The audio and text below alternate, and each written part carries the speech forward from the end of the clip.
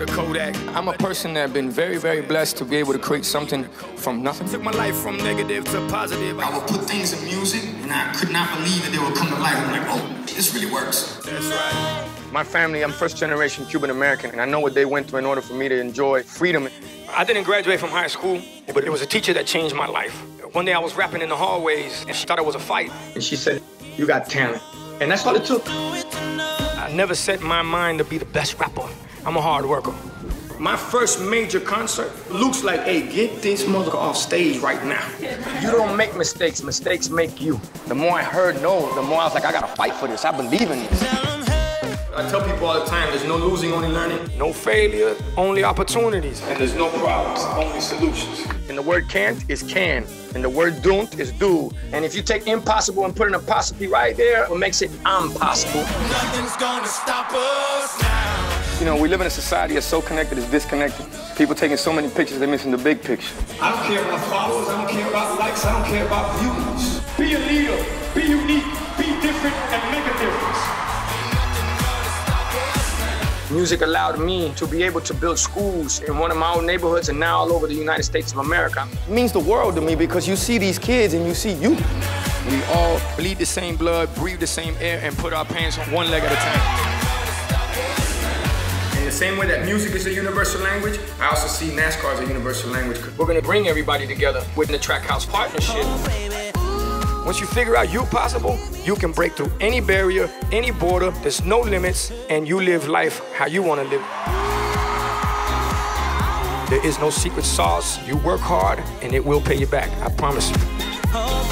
For everybody out there, I tell them, hey, why dream when you can live it? So get on it. Pac said, I'm not the one that's gonna change the world, but I'm the one that's gonna spark the mind of the one that is gonna change the world. And that's what I'm looking at here today. Every day above ground is up. Remember that.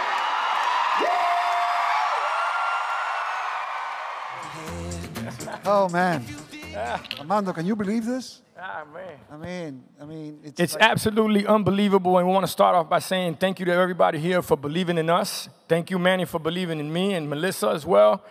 And it just goes to show you history in the making. This is truly, I would say, a field of dreams. If you build it, they will come. So we appreciate you more than you know. Thank you so much. I got to tell you, uh, sit down, sit down.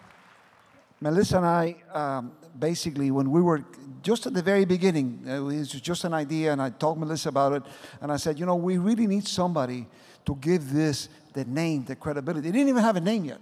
It was not called Emerge. And then through a friend of mine, uh, we were introduced to Armando. I remember today, uh, you know, meetings with Armando I've learned through the years are really, really uh, hard work in the sense that we met with him for the first time. I think it was around 2 p.m. at Grove Isle. And Melissa and I were there. And then about midnight, that same day, you know, we basically had a partner. And I don't mean a partner in the sense of, you know, financial. It's that This guy, actually, he said, uh, you had me at hello. It's the truth. It's the truth. The minute that anybody, you know, for one, I, I say it again, thank you, Manny and Melissa, for believing in me to be a partner in Emerge. Anything that has to do with us growing, building Miami and its reputation, you could count me in. So when Manny came over to the spot that I was at, where we call it the, we call it the Bat Cave. he said, I wanna, we wanna create a platform, a home for technology and allow Latin America to be able to have the same opportunity that everybody else has at Silicon Valley, Silicon Valley, Silicon Paradise. And not only is it an honor to be up here with you, but it's 10 years later, us having this conversation, and there's been over a thousand companies that have come through the platform and have raised $2.5 billion. And that's the same companies that nobody would give a chance to, nobody would give an opportunity to. And me and Manny both know, or all of us do know, being Miami underdogs, what it is when nobody believes in you. You can either let that fire or that fuel burn you out, or you can utilize that fuel and that fire to say, and excuse my French, fuck that shit, we gonna make this happen. Yeah. so, And that's what we've done in technology. So thank y'all once again. We appreciate you. so I mean, and this is really what I love about Miami. Obviously, you know, Armando is becoming not only a close friend, but we just really somebody that I truly admire. Uh, so what happened was, I mean, he has, if you see, if you saw his forearm, he has 305 tattooed here, basically. I mean, he is the original 305. He believes in this community. And it took him a nanosecond to understand the magnitude of what this could be. And basically, he went all in.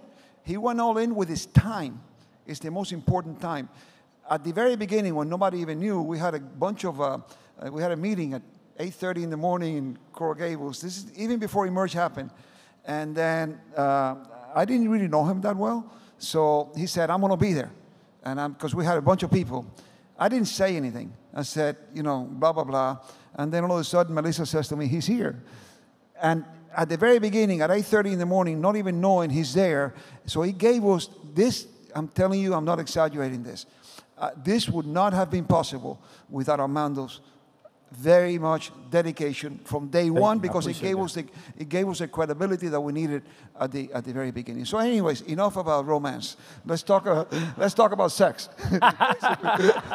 so, anyways, uh, tell me, Armando. One of the things that I admire about this guy is that first of all, he doesn't stop, and second of all, he's one of the most creative individuals. So, over the last ten years, I know you are all over the place in a good way, meaning you really, I mean, you're leaving for Vegas tonight, you have a show in Vegas tomorrow, you have your concerts, you have everything that is going on. But specifically, as you as in, in your video, when everybody says that he was a teacher, even though you didn't graduate from high school, he was a teacher that actually set you in the right place, that sparked that giving back on education and to kids.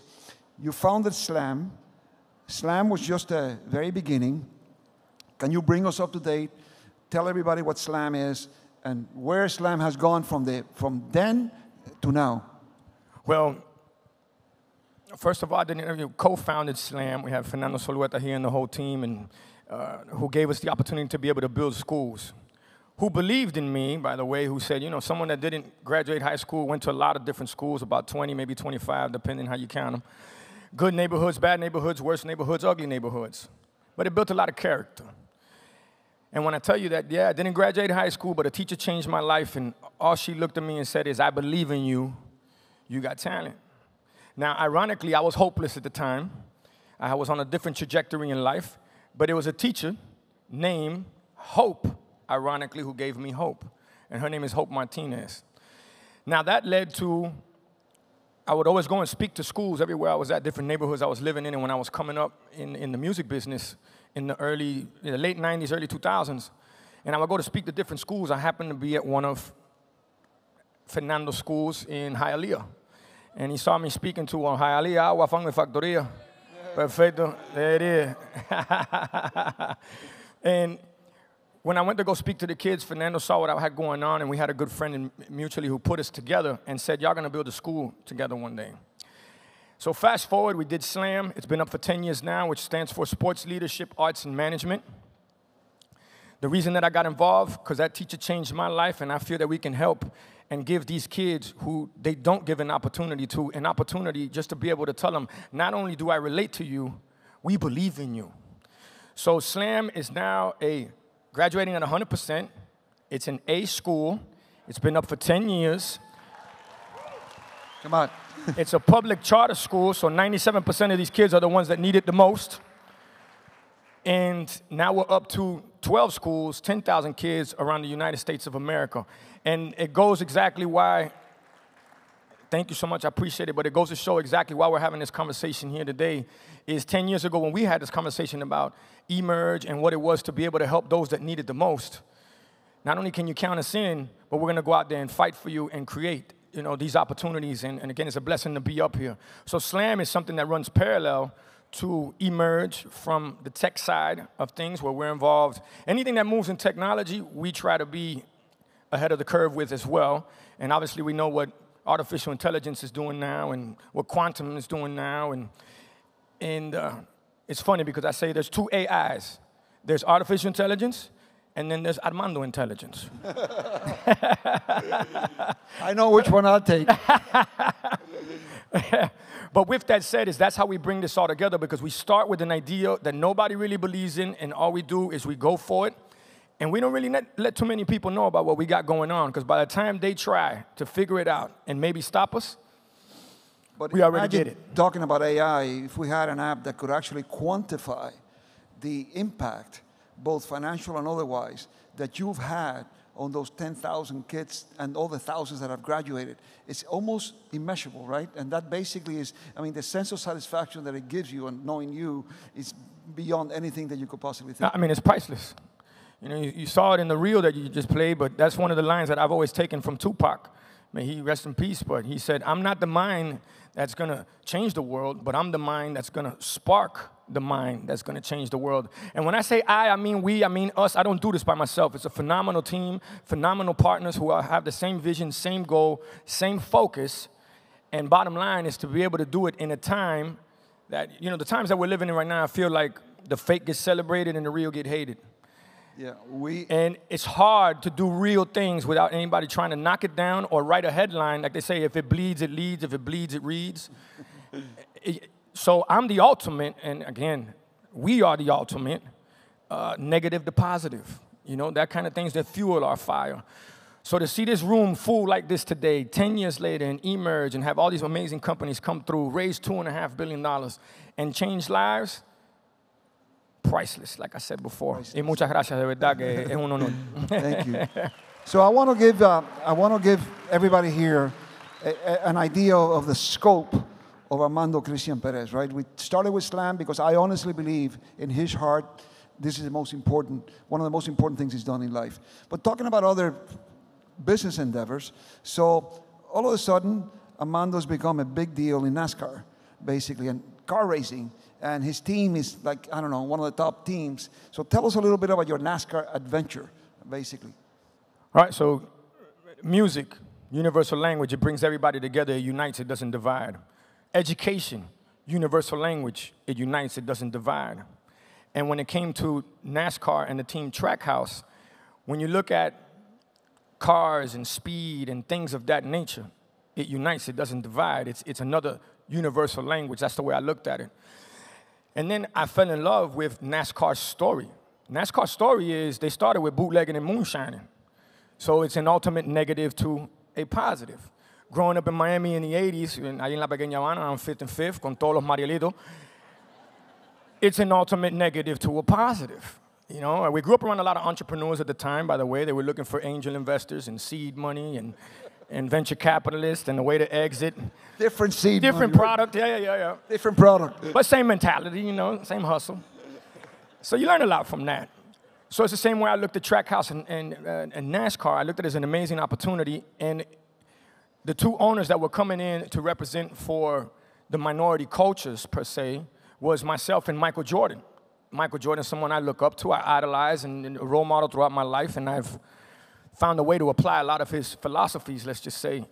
So I was like, coño, como dice Willy Chirino, lo que está para ti, pam, pam, nadie te lo quita. And I was like, well, it's a great time to get involved. And not only did we get involved, we have an amazing team called Trackhouse with Daniel Suarez, number 99, Charles Ch- uh, Ross Chastain, number one. And um, we've made an impact.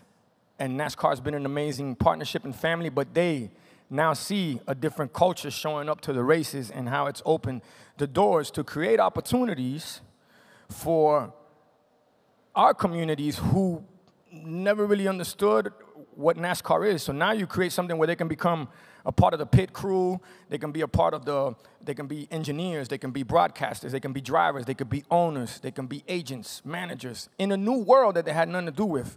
And I'm gonna rewind a little bit. When I really saw it, Manny, was one day we parked the NASCAR outside of Slam 10 years ago, crazy enough. And when I saw those kids look at that NASCAR, like if it was a spaceship, and they were just asking all kind of questions about it, I said, here is an opportunity to open the door and an avenue for our culture to get involved with an amazing, um, an amazing sport, and at another level, an amazing business. Fantastic. Come on. I mean, listen to that. We got to right? get y'all to a NASCAR Yeah, race. this is like uh, let's let's talk a little bit about your your your, your main business, not your, your main business, which is music, right? I know you're about to release a new album, right? Actually, we just released one. We're working on another one now. Another we released. Trackhouse Daytona 500 with uh, the record that's doing amazing for us is with Dolly Parton. Right. So I wanted to to tell you, tell me, tell, tell us a little bit about recording with Dolly Parton. You were telling me, tell me a little bit about her and you know, how you how you now have a new love in your life. Oh man, Dolly is the real deal. And then it's funny because it's Dolly and Dolly. ¿Me entiendes? Yeah. It makes sense. And what I love about Dolly, she's also very low key. She's very, like I said, she's the real deal. And when we were gonna have our first conversation, she's like, "Look, I only speak on landlines, so you're gonna have to call me at this spot." And I was like, "Oh, I really like Dolly." So we kind of missed each other, but when we did get on the phone, she said, Is this my future boyfriend who stood me up on my first phone call? I said, Oh, I really like Dolly. So when we got together and I asked her permission if I could re record 9 to 5, she gave me her blessings. And not only did she record it, she rapped on the record, Wow, which crazy. is crazy. And she, obviously, she's an- a phenomenal writer. And when I got a chance to hang out with her in, in Tennessee, in Nashville, which is called Cashville now because it's booming. eh, Dolly was like, "Well, you know, I want I want you to let the whole world know now that I'm officially Miss Worldwide." and anytime you hit the stage, you let them know that from Dolly, I say, uh, "Well, hey." So from Dolly, uh, "Well, hey." Tell them how, they, how she came up with a nine to five. I thought, I thought that was a great. So when I got inspired to do the record 9 to 5, I was watching a documentary from Dolly Parton when I love documentaries, and she was in the trailer when, when she was doing the movie um, in the early 80s, uh, which is um, she did the 9 to 5 record for. And while she was waiting in the trailer, she started playing with her nails. And that's how she came up with the lyrics to the song. So if you listen to the beginning of the record, that's Dolly Parton's nails going. And it just goes to show you that at, at, at any level, whether it be small, complicated, simple, or genius, it is genius how a creative mind can put something together and have such a powerful record. So to all the powerful women, Dolly Parton says thank you. How do you? So do uh, I. That's awesome. A little bit more um, uh, boring. So, how do you think this, there's been a lot of AI fever at Emerge this year, and, and obviously, I believe with the right uh, reason. And so, how, how is this affecting? Again, talking about the music industry, how is it? How are you using it? Are you concerned? Is it you know copyright? Is it you know is it easier? Is it more difficult? What is what is it what is it doing to your world? Well, I mean, like anything, you know, the music industry slash music business is always dealing with something new. So whether it's bootlegging of CDs, and then it went on to now it's you know now it's streaming. It's always something that we've had to figure out how to pivot. Okay, but like they say, in crisis there's opportunity. AI is something that if you utilize it, you don't let it use you, then it can be something very powerful for you. Example for producers, anybody that's trying to pitch me an idea, they can send me a record with me on it, never getting on it, but either or, I can really see what they're thinking about and where they're going with it. When I first heard it, was it a little interesting? yeah. I was like, oh shit, that's me, you know? so, should there be rules, regulations, laws, and protection?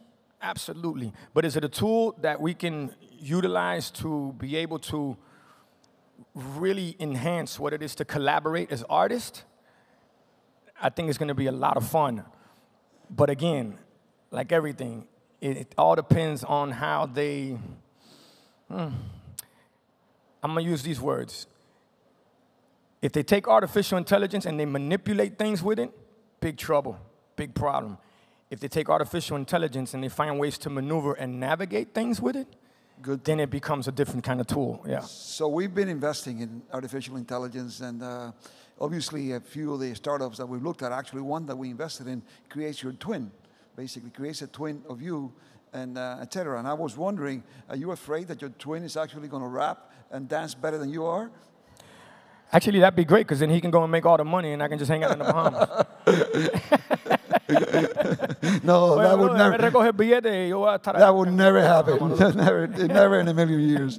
So basically, Nah, I think, look, it's exactly what it is artificial intelligence. And you're not going to outdo the real deal, but there should be, like I said before, rules, laws, regulations, and some kind of protection in place, which I know that they're fighting for, because that's why they had the, the strike in Hollywood with the writers, and in music as well, they're setting up certain ba- uh, boundaries and, and barriers. But it's something new, so all we can do is sit back, watch, let the dust settle, and learn. I was um, incredibly um, uh, pleased to talking to Destiny, your daughter, back there. I mean, actually, I hadn't seen her in a little while, and how she's gone and now become part of the business, right? Basically, I mean, Melissa's here with our next generation. All the kids are here. You know, we want them, you know, to follow on, and obviously. So, tell me a little bit about what kind of a feeling having Destiny with you and in the business and, and uh, is doing.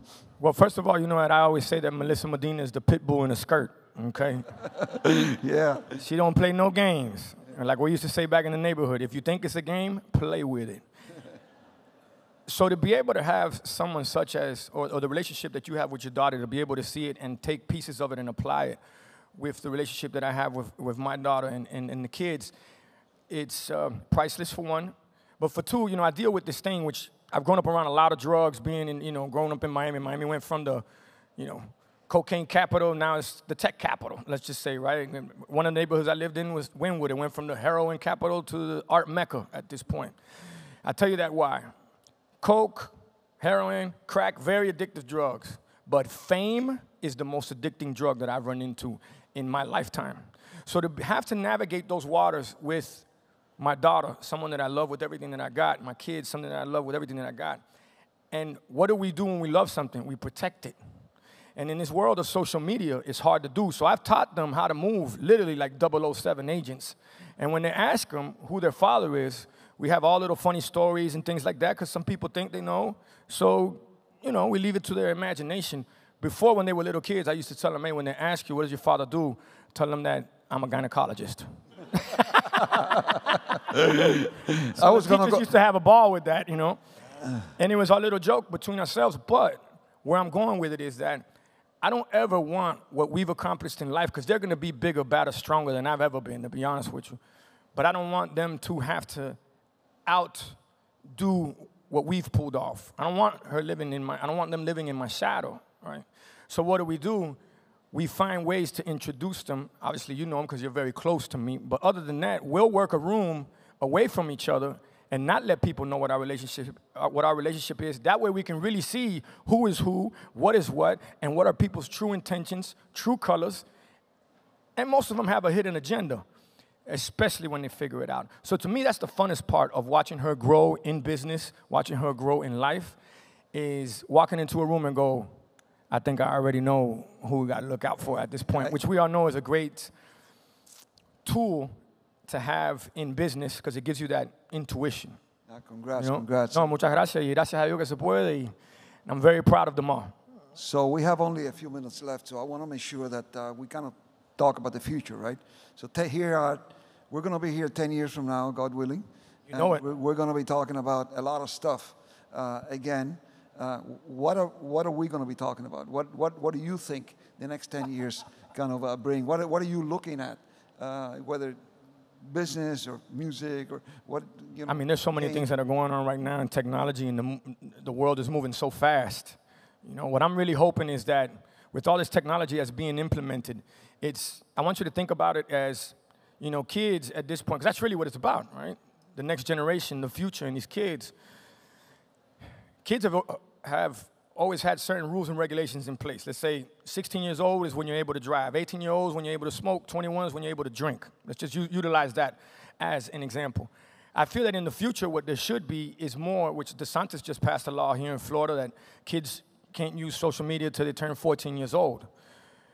Things of that nature is what I feel should be more in the future.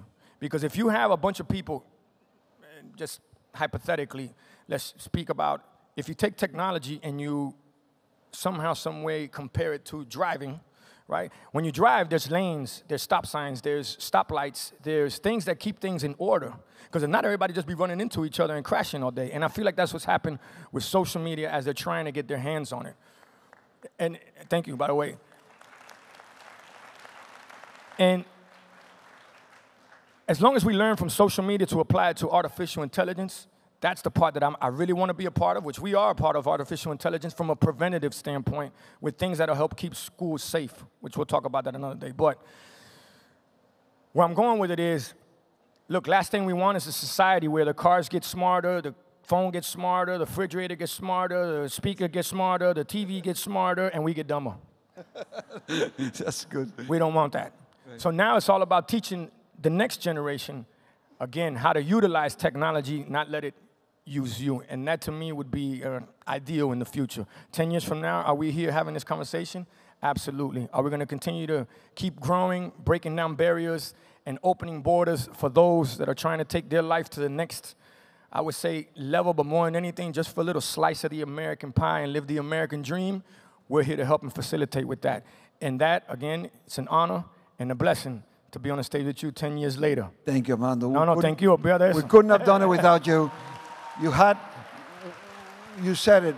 I had you at hello. had me Melissa at had hello. hello. And you know, and this guy is just an amazing, the, the, the original 305, the only 305. He really bleeds Miami. We're all so proud of him, and we're proud of our association, or our partnership. And obviously, we couldn't be here without. We would never have been here without you. So let's join me in a big round of applause to Mr. 305. Thank you. I appreciate it. Sir, Manny, thank you for the 305 worldwide. opportunity.